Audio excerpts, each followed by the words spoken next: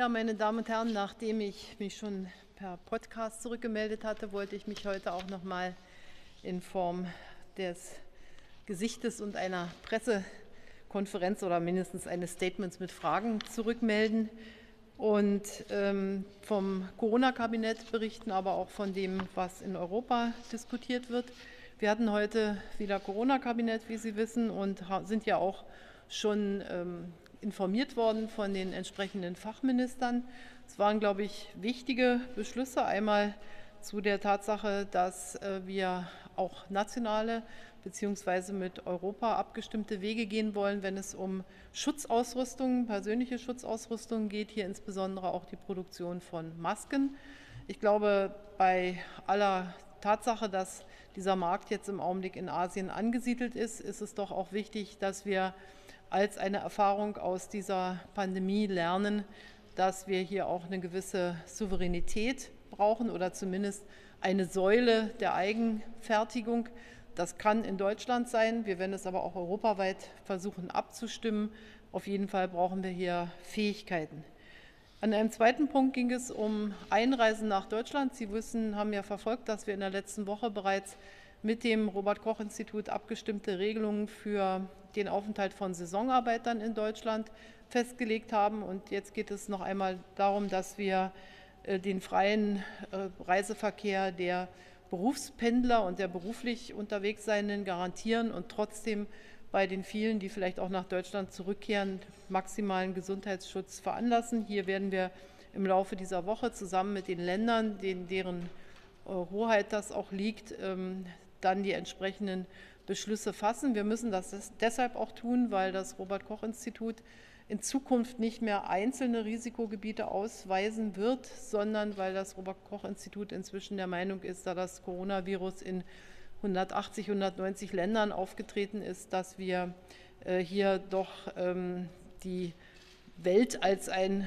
Risikogebiet haben und äh, deshalb werden solche Einreisebeschränkungen, das heißt die Verhängung von häuslicher Quarantäne, dann auch notwendig sein für diejenigen, die nach Deutschland kommen, egal woher sie kommen, mit Ausnahme derer, so machen wir es ja auch zwischen Deutschland und Frankreich und anderen Ländern, die als Berufspendler unterwegs sind.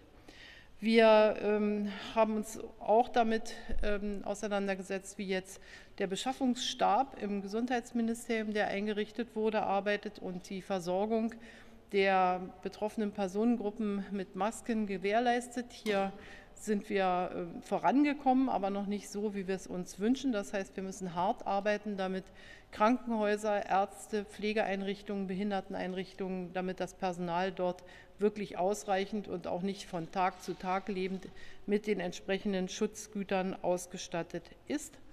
Und als vierten Punkt haben wir ein, eine Modifikation des schon bestehenden KfW Programms, also des Programms der Kreditanstalt für Wiederaufbau zur Vergabe von Darlehen, Darlehen verabschiedet.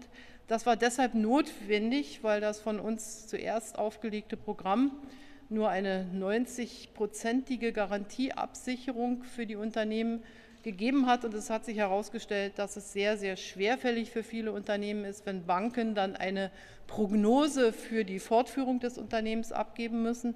Deshalb haben wir uns entschieden, und das ist ja im Grundsatz auch von der EU-Kommission so gebilligt worden, dass es eine Haftungsfreistellung in Höhe von 100 Prozent geben kann. Die Minister Scholz und Altmaier haben Sie ja auch darüber informiert.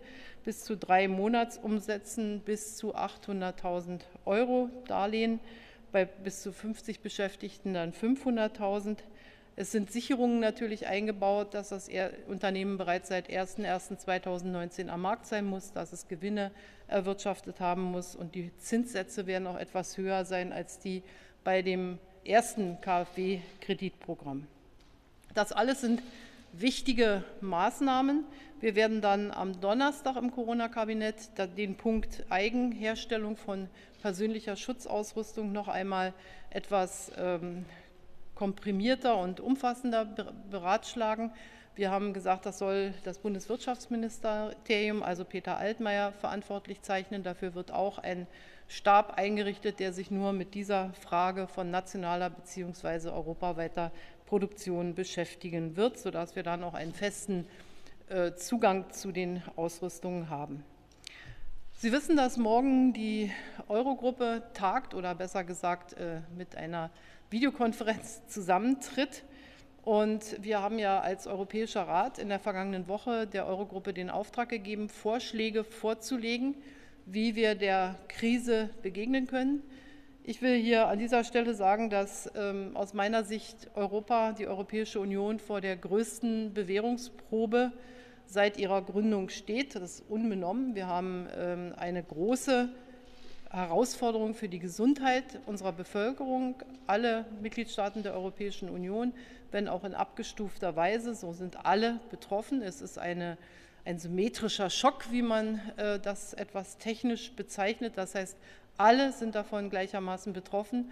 Und deshalb muss es auch das Interesse aller sein, und es ist das Interesse Deutschlands, dass Europa stark aus dieser Bewährungsprobe hervorgeht. Es geht dabei darum zu verstehen, dass auch Deutschland, und das habe ich immer und immer wieder gesagt, auch bei vorhergehenden Krisen, und diesmal gilt es noch mehr, auch Deutschland wird es auf Dauer nur gut gehen, wenn es Europa gut geht. Und wir erleben jetzt ja auch, wenn wir uns einfach nur mal angucken, wie unsere Wirtschaften verflochten sind, was passiert, wenn der freie Gang der Güter nicht gewährleistet ist. Äh, deshalb kann die Antwort nur heißen, mehr Europa, ein stärkeres Europa und ein gut funktionierendes Europa, und zwar in allen seinen Teilen, das heißt in allen seinen Mitgliedstaaten. Und natürlich sind in besonderer Weise die Länder betroffen, die noch einmal verstärkt verbunden sind durch eine gemeinsame Währung. Die soll eine weltweit starke Währung sein und deshalb haben wir äh, auch die Finanzminister um Vorschläge gebeten.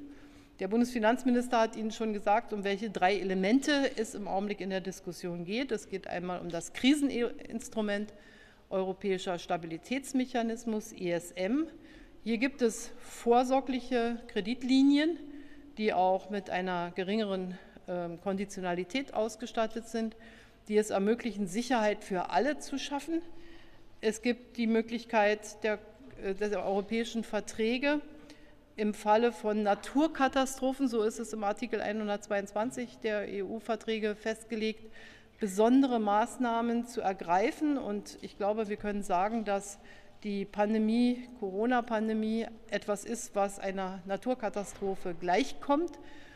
Und insofern kann die Europäische Kommission hier Darlehen vergeben an die Mitgliedstaaten. Und ich finde den Vorschlag von Ursula von der Leyen sehr begrüßenswert, dass man insbesondere im Bereich der Sicherung von Arbeitsplätzen, das heißt von arbeitsmarktpolitischen Instrumenten wie zum Beispiel dem Kurzarbeitergeld, hier eine große europäische Kraftanstrengung startet. Wir als Bundesrepublik Deutschland haben mit dem Kurzarbeitergeld sehr gute Erfahrungen gemacht.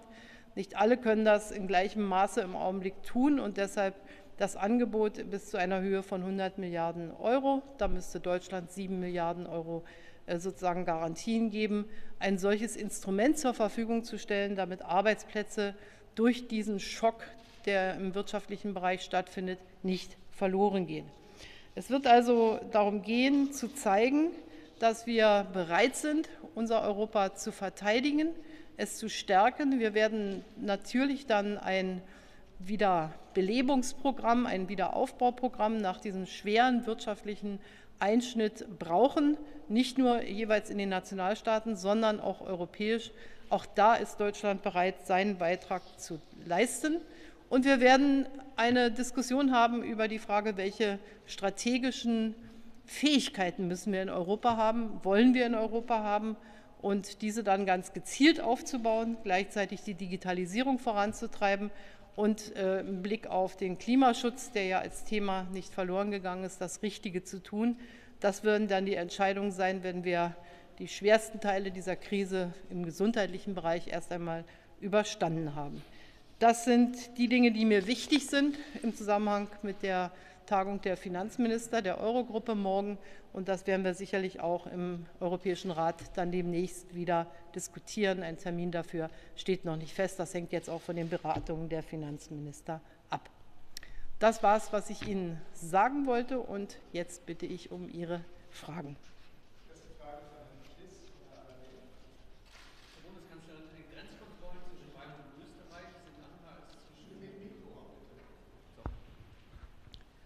Frau Bundeskanzlerin, die Grenzkontrollen zwischen Bayern und Österreich werden anders aussehen als zwischen Nordrhein-Westfalen und den Niederlanden. Liegt das an den Ministerpräsidenten oder was ist der Unterschied? Naja, wir haben ähm, zum Teil Wünsche der Ministerpräsidenten gehabt. Ähm, das galt für Bayern. Da waren die Grenzkontrollen ja schon im, bestehend aus anderen Gründen. Aber auch Baden-Württemberg und das Saarland und Rheinland-Pfalz hatten darum gebeten, ähm, zu einem Zeitpunkt, als die verhängten Maßnahmen zwischen Deutschland und Frankreich noch recht unterschiedlich waren. Im Augenblick ist es ja so, dass es da auch eine hohe Angleichung gegeben hat.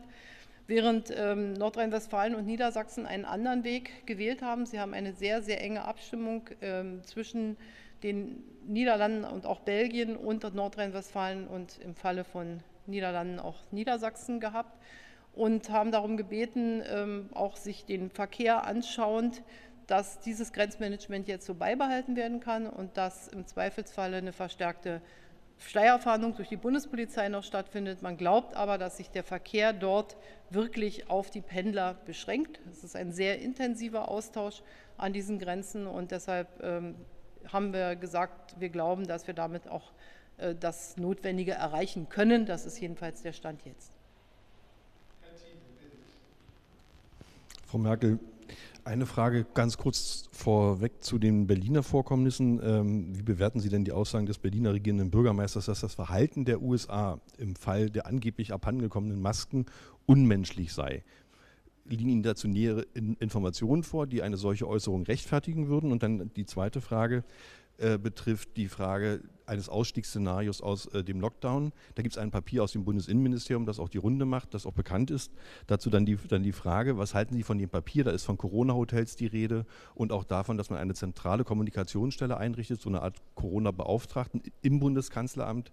Ist das geplant? Und Österreich hat ja jetzt schon äh, leichte Lockerungen angekündigt. Ja, also erstmal zu dem, was Sie zu Berlin gefragt haben. Mir liegen darüber keine näheren Informationen vor. Ich finde es wichtig, dass das jetzt auch aufgeklärt wird. Auch das habe ich aus dem Berliner Senat gehört. Wir wissen, dass das Unternehmen ähm, sagt, dass sie sich das nicht vorstellen können. Wir haben sehr unterschiedliche Äußerungen und ich hoffe, dass man das wirklich aufklären kann und ähm, denke, dass das auch möglich ist. Das Zweite, ich habe ähm, schon am Wochenende in meinem Podcast gesagt, äh, wir wären ja eine schlechte Bundesregierung, wenn wir nicht intensiv, ich sage sogar Tag und Nacht, äh, darüber nachdenken würden, wie wir auch ähm, bei Einhaltung des Gesundheitsschutzes das ähm, Leben wieder schrittweise öffnen können. Ich wäre aber auch eine schlechte Bundeskanzlerin oder wir wären eine schlechte Bundesregierung, wenn wir jetzt schon ein Datum nennen würden. Das können wir nicht. Wir haben erste Andeutungen, wie sich die Dinge entwickeln. Österreich war uns immer ein Stück äh, voraus in den äh, Dingen, aber wir müssen unsere eigenen Zahlen ansetzen. Und deshalb ähm, ist es auf jeden Fall jetzt nicht geraten, über ein Datum in Deutschland äh, zu sprechen.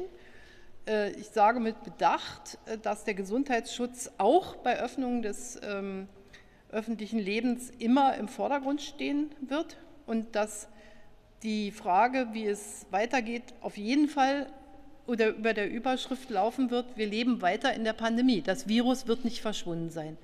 So, mehr kann ich dazu heute nicht sagen. Natürlich denken wir darüber nach. Natürlich gibt es Studien. Es gibt die aus dem Innenministerium, es gibt von Herrn Fußt und Frau Woppen eine Studie. Ich selber hab, äh, freue mich, dass die Leopoldina eine Arbeit macht, die auch dann ähm, kurz nach Ostern erscheinen wird, die sich genau mit demselben Thema beschäftigt. Und da müssen natürlich Mediziner, Soziologen und äh, Ökonomen zusammenarbeiten. Welche Schlüsse wir daraus ziehen, können wir Ihnen aber heute noch nicht sagen. Aber nachdenken tun wir. Und auf jeden Fall wird es ein schrittweises Vorgehen sein. So viel kann man auch schon sagen. Ach so, wir haben jetzt zu der Struktur, wie wir dann vorgehen, noch keine Entscheidungen getroffen. Das wird dann alles zum rechten Zeitpunkt gemacht werden. Da gibt es viele Vorschläge jetzt. wir sind ja nicht die Einzigen, die sich darüber Gedanken machen, sondern viele andere auch. Aber es wird zum Schluss immer darauf ankommen, dass wir bei aller Notwendigkeit des wirtschaftlichen Handelns den Gesundheitsschutz vorne anstellen. Denn so wie viele sich wünschen, dass es jetzt schnell vorangehen möchte, so wird die Diskussion, wenn die ersten Menschen sterben, weil wir zu schnell gehandelt haben und unser Gesundheitssystem den Belastungen nicht mehr standhalten wird, sich sofort ins Gegenteil verkehren. Und es wäre ganz schlecht, wir würden zu schnell voranschreiten, um dann sozusagen äh, wieder alles zurücknehmen zu müssen. Das äh, versuchen wir zu vermeiden, immer bei der Maßgabe, nicht unser Gesundheitssystem zu überlasten. Und ich will an der Stelle auch noch mal sagen, dass ich sehr dankbar bin, dass sich so viele Menschen darauf auch einlassen, diese sehr, sehr harten Regeln, gerade wenn man sich das Wetter anschaut, wie es jetzt im Augenblick ist, einzuhalten, weil sie wissen, dass sie damit einen Beitrag leisten, Menschenleben zu retten, zu sichern und auch Krankenschwestern, Ärzten und allen, die im Gesundheitssystem tätig sind, wirklich ähm, das Leben etwas leichter bei aller Belastung zu machen. Und für dieses Verständnis, das es gibt, möchte ich mich bedanken, denn die Regeln werden ja doch von der überwiegenden Mehrzahl der Menschen eingehalten. Frau Bundeskanzlerin, meine Frage nochmal zu dem Thema äh, Lockerung der Maßnahmen. Ihr aktuelles Kriterium dafür lautet wie genau? Sie haben gesagt, die Verdopplungszeit der Infektionen ist entscheidend. Erst hieß es zehn Tage, dann zwölf, jetzt vielleicht sogar 14. Wenn Sie nochmal sagen können, was genau ist Ihr aktuelles Kriterium und gibt es weitere Kriterien für eine mögliche Lockerung der Maßnahmen? Und eine zweite kurze Frage zum Thema Masken. Die Leopoldina, die Sie ja auch gerade erwähnt haben, empfiehlt ja am Freitag eine Mundschutz, Mund- und Nasenschutzpflicht für die gesamte Bevölkerung mit einfachen Masken. Warum zögern Sie da bisher, so eine einfache Pflicht ähm, auszurufen? Also erstens sind wir ja noch in der Phase, wo wir uns auch die Ratschläge der Experten immer wieder anhören. Und ich sage mal, am Anfang gab es mehr Zurückhaltung zu diesen Masken, zu den Alltagsmasken, wenn ich das jetzt mal so sagen darf. Jetzt ähm, wandelt sich auch die Meinung der Experten und der werden wir uns natürlich nicht entgegenstellen. Allerdings sagen uns alle Experten, eine gut gehandhabte ähm, Maske, das heißt regelmäßiges Waschen, nicht zu lange tragen, heiß bügeln oder in Backofen oder in Mikrowelle stecken, ist die Voraussetzung dafür, dass äh, die begrenzte Wirkung, aber wenigstens die begrenzte Wirkung auch eintritt.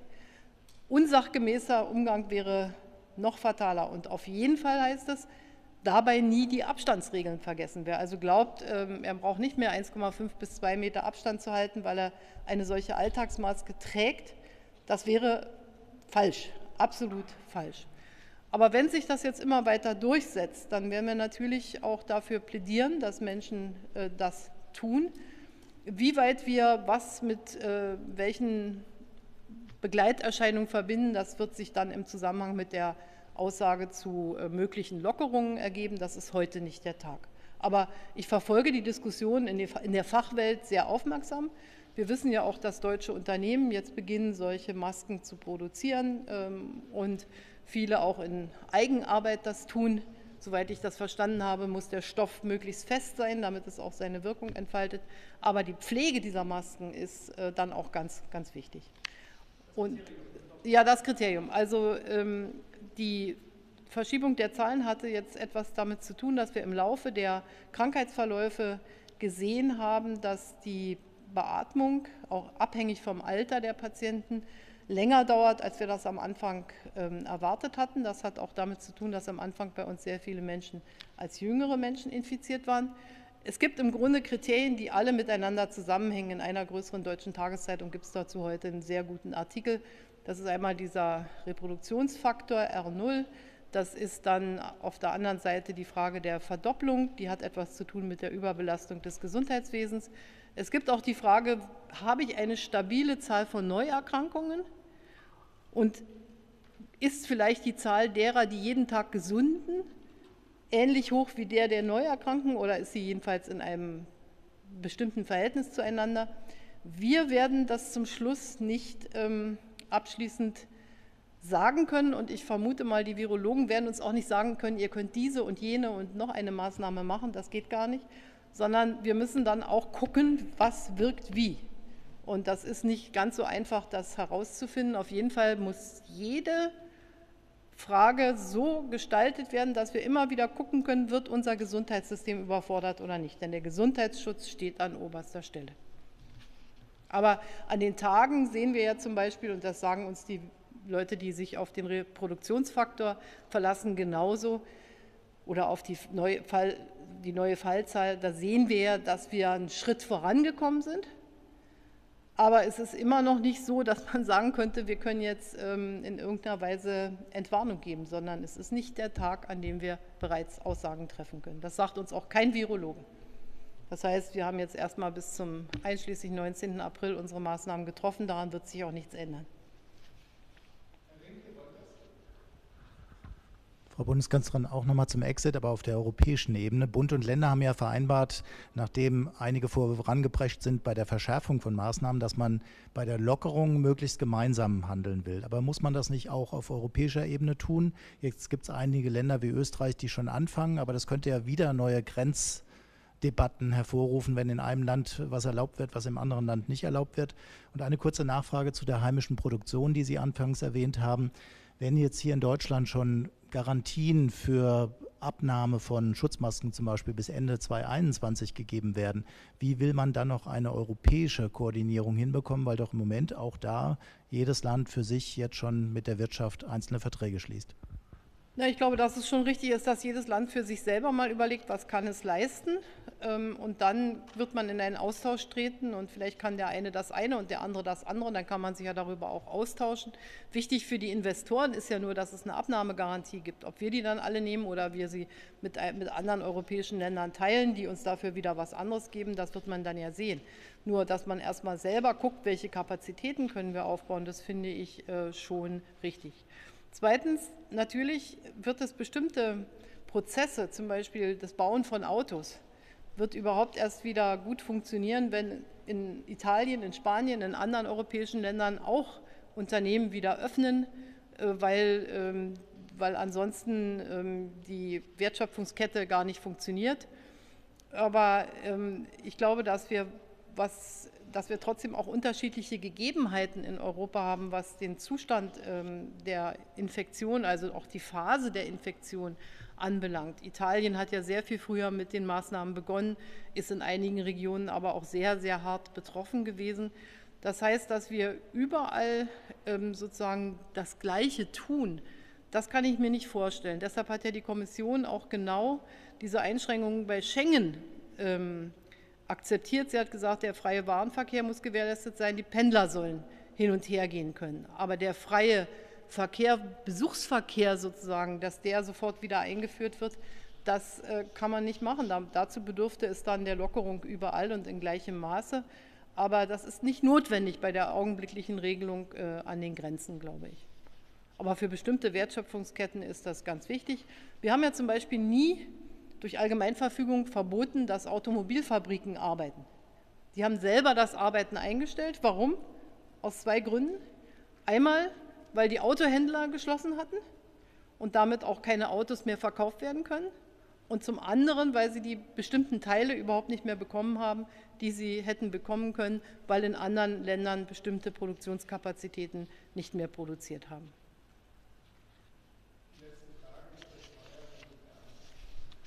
Frau Bundeskanzlerin, es gibt inzwischen Befürchtungen, dass die äh, Krisenregelungen und die Einschränkungen für die Bürger nach der Krise nicht mehr vollständig zurückgefahren werden könnten. Können Sie die Bürger beruhigen?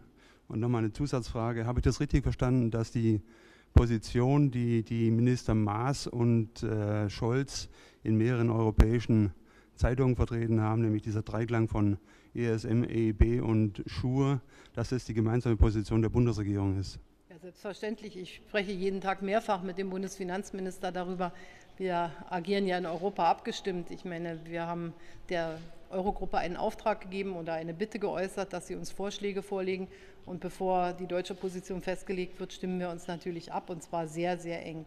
Zweitens ich, darf ich den Bürgerinnen natürlich sagen, als auch eine freiheitsliebende Bürgerin im 30. Jahr der deutschen Einheit, sobald es die gesundheitlichen ähm, Situationen zulässt, werden wir selbstverständlich äh, zu dem freien Leben, wie wir es kennen, zurückkehren. Das ist kein regelloses Leben, das wissen Sie.